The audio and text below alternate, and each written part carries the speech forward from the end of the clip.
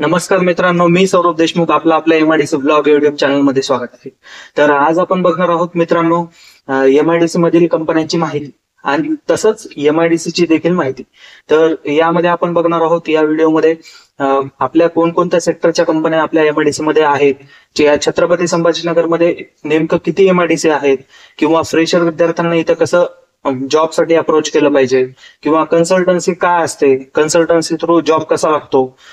याचं पूर्ण गायडन्स आपल्याला आज आपले गेस्ट आहेत यथार्थ सर तर ते आपल्याला देणारच आहेत. तर यथार्थ सरांचं प्रथम आपल्या चॅनलवर स्वागत आहे सर तर सगळ्यात पहिले आपलं यथार्थ सरांचं आपण इंट्रोडक्शन घेऊया त्यांच्याकडनंच. नमस्कार मित्रांनो. धन्यवाद. सर्वप्रथम सर तुम्ही मला आम- आमंत्रित केलं. मी यथार्थ नागदिवे मी मेकॅनिकल इंजिनियर आहे आणि मला सहा वर्षाचा मेकॅनिकल सिस्टम्समध्ये अनुभव आहे. नमस्कार सर तर सर आपण आज आपल्या व्हिडिओमध्ये किंवा आपल्या व्ह्युअर्सला जे फ्रेशर विद्यार्थी असतात I T I diploma engineering झालेले जे विद्यार्थी असतात. त्यांना नेमकं आपल्या छत्रपती संभाजीनगरमध्ये एमआयडीसी किती आहेत? सर्वप्रथम तर हे सांगायला हवंय. तर त्यासाठी आपण त्यांना थोडंसं गायडन्स करावं की आपल्या छत्रपती संभाजीनगरमध्ये नेमकं एमआयडीसी किती आहे? बरोबर आहे. सर्वात प्रथम जर का कोणी फ्रेशर इथे जॉबसाठी अप्लाय करतो आहे तर त्याला याचं एमआयडीसीचं नॉलेज असायला हवं. आणि तुम्ही बरोबर बोललात सर की पहिले त्याला किती एमआयडीसीज आहेत पूर्ण छत्रपती संभाजीनगरमध्ये? आणि कुठं कुठे आहेत? कुठं त्या आहेत? कशा आहेत? तिथं कोण कुठल्या कंपन्या आहेत त्याचं नॉलेज असायला हवं. तर आपल्या एमआयडीसी मध्ये आपण जसं बघितलं की सगळ्यात मोठे वाळूज एमआयडीसी आहे. त्यानंतर शेंद्रा एमआयडीसी आहे. चिकलठाणा एमआयडीसी आहे.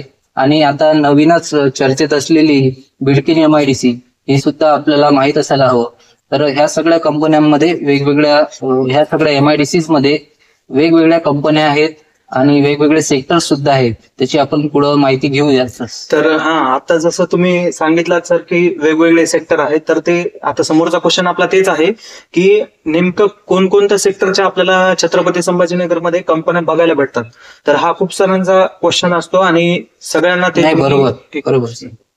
की बघा प्रत्येक आपल्याला कुठल्या सेक्टरमध्ये काम करायचं आहे हे खूप महत्वाचं आहे. म्हणून कुठल्या आपल्याला सेक्टरचं सुद्धा नॉलेज असायला हवं. जसं की आपण प्रत्येक सेक्टर सेक्टरचा परिपूर्ण अभ्यास केलेला आपल्यासाठी करिअर निवडताना खूप योग्य आणि गरजेचं आहे. म्हणून जसं आपण सगळ्यात मोठं सेक्टर इतर पकडलं आपल्या एमआयडीसी मध्ये तर हे ऑटोमोबाईल सेक्टर आपण पकडलं. त्यानंतर medical sector food processing sector त्यानंतर ऍग्रिकल्चर सेक्टर तर आपल्या इथं मी याच्यामध्ये सर पॉइंट एक ऍड करू इच्छितो इच्छितो की आपल्या इथं जे सगळ्यात स्ट्रॉंग आणि सगळ्यात जास्त कंपन्या आपल्याला भेट- बघायला भेटतात ऑटोमोबाईल हो, सेक्टर हो हो नक्कीच. ऑटोमोबाईल सेक्टर हे बरंच मोठं सेक्टर आपल्या इथं आहे. आणि भरपूर अशा कंपन्या जसं की आपण प्रत्येक एमआयडीसी वाईज पण डिवाइड केलं तर वाळूज एमआयडीसी मध्ये सगळ्यात मोठा इथचा आधारस्तंभ म्हणजे बजाज ही एक मोठी कंपनी इथं आहे आणि बाकीच्या सगळ्या कंपन्या जवळपास त्या कंपनीवर डिपेंडिंग म्हणजे त्यांना धरूनच चालतात जसं आपण पुढे जर शेंद्रा एमआयडीसी मध्ये बघितलं तर तिथं स्कोडा सारखी मोठी कंपनी तिथं प्रतिष्ठित कंपनी आहे आणि त्याला धरून रिलेट त्याच्या रिलेटेड सगळ्या कंपनीज तिथं आहेत. तसंच आपण जर का इकडे चिकलठाणा परिसरात बघितलं तर जरा मेडिकल सेक्टरच्या भरपूर कंपन्या तिथे कंपन्या तिथे आहेत. आणि तिथून पूर्ण त्या सेक्टरच्या रिलेटेड काम चालतं. तर तर तेच आता सर हे तर झालं आपण कंपन्यांच्या सेक्टरबद्दल इन्फॉर्मेशन घेतली तसंच आपल्याला आता जे फ्रेशर विद्यार्थी असतात I T I diploma engineering झालेले किंवा डिफार्मसी बीफार्मसी झालेले विद्यार्थी तर त्यांना नेमका इथं येण्याचा रोड मॅप कसा असला पाहिजे? बरोबर. हा खूप सुंदर असा प्रश्न विचारला सर तुम्ही. बघा आपल्या करिअरचा रोड मॅप निवडणं हे खूप इम्पॉर्टंट आहे आणि खूप गरजेचं आहे. कारण त्याच्याशिवाय जेव्हा आपण आपल्या करिअरचा रोड मॅप निवडतो तेव्हाच आपला वेळ पैसा आणि सगळं वाचते आणि जास्तीत जास्त ग्रोथ आपल्याला एमआयडीसी मध्ये घेता येते. म्हणूनच प्रॉपर रोड मॅप निवडणं हे खूप गरजेचं आहे. तर प्रत्येक जर का कुठलाही नवीन फ्रेशर जेव्हा कुठलाही नवीन फ्रेशर विद्यार्थी इथे जॉब करण्यासाठी येतो तेव्हा त्याला त्याचं प्रोप त्याचं सर्वप्रथम त्याला स्वतःला अनालिसिस करावं लागेल. की मला कुठल्या फील्डमध्ये जायचं आहे माझ्यात काय गट्स आहेत माझ्यातलं काय अबिलिटीज आहेत काय पॉझिटिव्ह माझ्यामध्ये पॉइंट आहे काय निगेटिव्ह माझ्या माझ्या- माझ्यामध्ये पॉइंट आहे ते त्याला अनालिसिस करावं लागेल. आणि त्याच्याप्रमाणेच त्याला मग प्रॉपर सेक्टर निवडावं लागेल. तर हेच माझा क्वेश्चन होता सर की नेमकं कोणत्या डिपार्टमेंटमध्ये आपल्याला इंटरेस्ट आहे. किंवा कोणत्या डिपार्टमेंटमध्ये आपल्याला जायचंय. तर हे फ्रेशर मुलांना खूप मोठं कन्फ्युजन असते. तर ते नेमकं कसं त्यांना त्यांचा इंटरेस्ट शोधला शोधायला हवं त्यांना कसा इंटरेस्ट शोधावा याच्यासाठी त्यांना सेल्फ अनालिसिस करावं लागेल म्हणजे सपोज आपण एक उदाहरण घेऊ जर का एका कुठल्या एका मुलामध्ये प्रॉब्लेम सॉल्व्हिंग चांगला त्याचा ऍटिट्यूड आहे किंवा त्याला नवीन नवीन चांगले नवीन रिस्पॉन्सिबिलिटी घ्यायला आवडते. त्याचा हार्ड त्याचं तर तो एक क्वालिटी डिपार्टमेंट निवडू शकतो. त्याचा problem solve problem solving attitude जर का त्याचा चांगला अजून स्ट्रॉंग असेल तर त्याने मेंटेनन्स डिपार्टमेंट सुद्धा तो जॉईन करू शकतो. किंवा तो हार्ड वर्किंग असेल जास्त मेहनत करणारा असेल तर तो प्रोडक्शनमध्ये सुद्धा आपण त्याचं ग्रो करू शकतो. म्हणून तो जेव्हा तो पर्टिक्युलर जेव्हा तो विद्यार्थी स्वतःच्या क्वालिटीज अनालिसिस स्वतःच्या क्वालिटीज जेव्हा अनालिसिस करणार तेव्हा तो ग्रो करू शकणार अगदीच बरोबर सर तर हे सरांनी खूप छान सांगितलंय आपल्याला की तुमच्यात जर प्रेशर हँडल करण्याची किंवा प्रेशरमध्ये काम करण्याची उत्सुकता असेल किंवा तुम्हाला बरोबर. फास्ट वर्किंग करू शकत असाल प्रॉब्लेम सॉल्व्हिंग स्किल असेल. रेग्युलर तुम्ही फास्ट वर्कर असाल तर तुम्ही नेमकं नक्कीच तुम्ही मेंटेनन्स फील्डमध्ये जाऊ शकता. प्रोडक्शनमध्ये तुम्हाला खूप चांगली ग्रोथ मिळू शकते. हार्ड वर्किंग आहे सुरुवातीला पण नंतर खूप चांगली ग्रोथ तुम्हाला मिळू शकते. तसंच तुम्हाला इन्व्हेंटरी मध्ये जरी इंटरेस्ट असेल तर तुम्ही स्टोअर स्टोअरमध्ये पण जाऊ शकता. तर हे असं सगळं आपण स्वतःहून अनालिसिस केलं पाहिजे की आपल्याला नेमकं कोणत्या क्षेत्रात जायचं आहे आणि आपण त्यानुसार आपलं डिसिजन घेतलं पाहिजे. तर सर आपल्या समोरचा असा क्वेश्चन होता की आयटीआय डिप्लोमा इंजिनिअरिंग वाल्या विद्यार्थ्यांना नोकरीच्या संधी नेमकं कशा असतात किंवा त्यांना कोणत्या पोस्टला अलॉट केलं जातं कंपन्यांमध्ये फ्रेशर विद्यार्थी. बरोबर आहे. तर जसं आपण सर विचारलं की जेव्हा आयटीआय लेवलच्या कुठलाही एखादा विद्यार्थी येतो जॉबसाठी तेव्हा कंपनीतल्या बेसिक ऑपरेटिंग लेवलच्या ज्या पोस्ट आहेत त्याच्यात त्यामध्ये तो काम करू शकतो.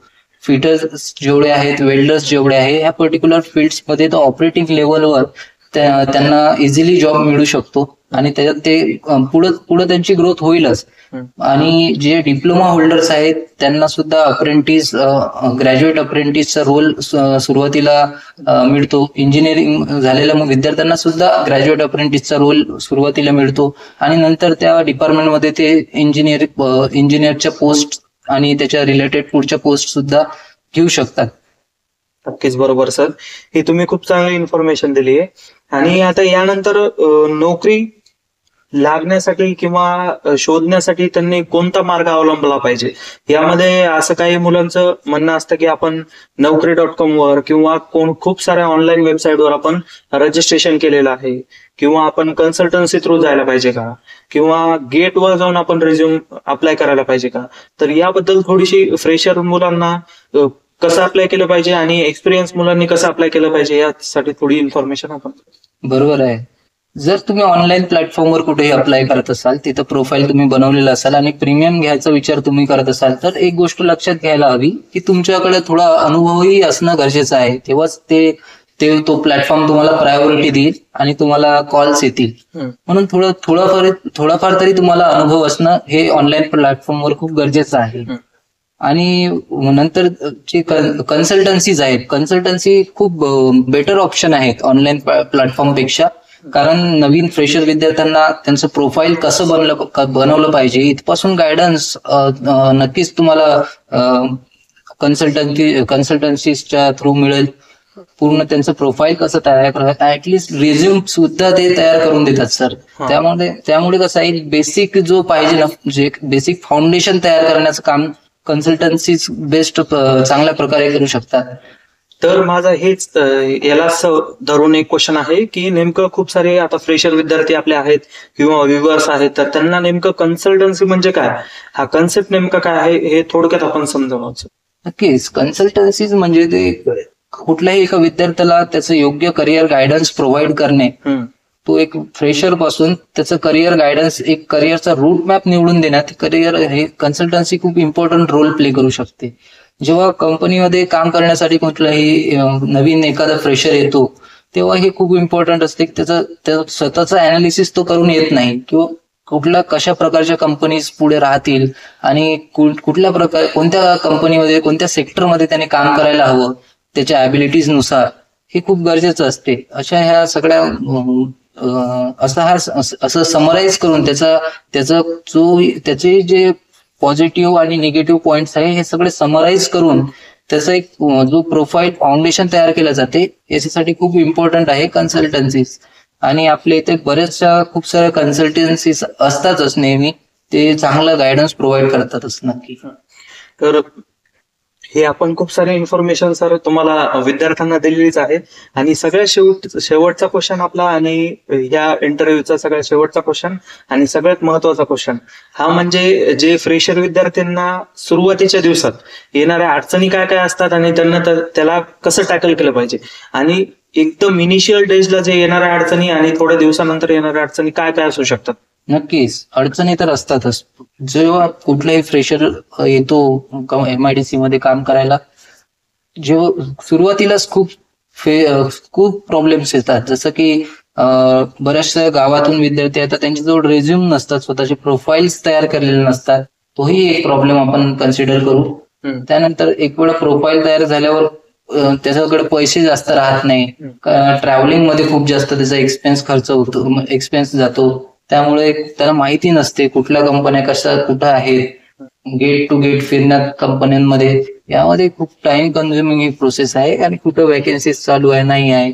कॉन्टॅक्ट त्याला निर्माण करावं लागतील. हे इनिशियल फेज आहे. त्यानंतर राहण्याच्या दृष्टिकोनातून आपण बघू शकतो की राहण्याचे पण जर का मित्राचे मित्र वगैरे कोणी आपल्या एम आय डी असेल तर त्याला इझिली रूम मिळेल. पण मित्र नसेल तर अशा कंडिशनमध्ये हॉस्टेल्सची गरज त्याला पडू शकते. म्हणून हे सगळ्या इन्फॉर्मेशन आता ह्या लागतातच. जसं की सर सर आपले ते पण या फ्रेशर विद्यार्थ्यासाठी खूप सपोर्ट करतात आम्ही. ह्या त्यांच्याशी जुळण्याचा हाच एक मोठा पॉइंट आहे की खूप चांगला गायडन्स तुम्ही करतात सर. आपल्या चॅनलच्या माध्यमातून तुम्ही जो उपक्रम राबवलेला आहे तो नक्कीच विद्यार्थ्यांसाठी फ्रेशर मुलांसाठी खूप उपयोगाचा ठरेल. आणि मी तुम पुढेही जेव्हा कुठं कधी मदत लागली तर आपल्याला कधीही अवेलेबल आहे सर आपल्यासाठी कधी. नक्कीच सर नक्कीच. तुम्ही एवढं चांगलं आम्हाला गायडन्स केलं आणि तसंच विद्यार्थ्यांना तुम्हाला जर आताच सर सांगितल्याप्रमाणे की कंपन्यांची इन्फॉर्मेशन हे तर आपण तुम्हाला या चॅनलवर मिळतच राहील पण याच्यानंतरही असेच खूप सारे इंटरव्ह्यू आपण घेऊन येऊ सरांसोबत. आणि अजून वेगवेगळ्या फील्डच्या एक्सपर्ट लोकांसोबत. तर तुम्ही आपल्या चॅनलला सबस्क्राईब करून ठेवा मित्रांनो. आणि जाता जाता तुम्हाला एवढं सांगतो काही जर अडचण असेल काही जर तुमच्या अडचणी असतील तर तुम्ही कमेंटमध्ये नक्कीच करू शकता मित्रांनो. त्याचं व्हिडिओ नक्कीच आपण समोरच्या व्हिडिओमध्ये ते क्वेश्चन नक्कीच देऊ धन्यवाद. धन्यवाद.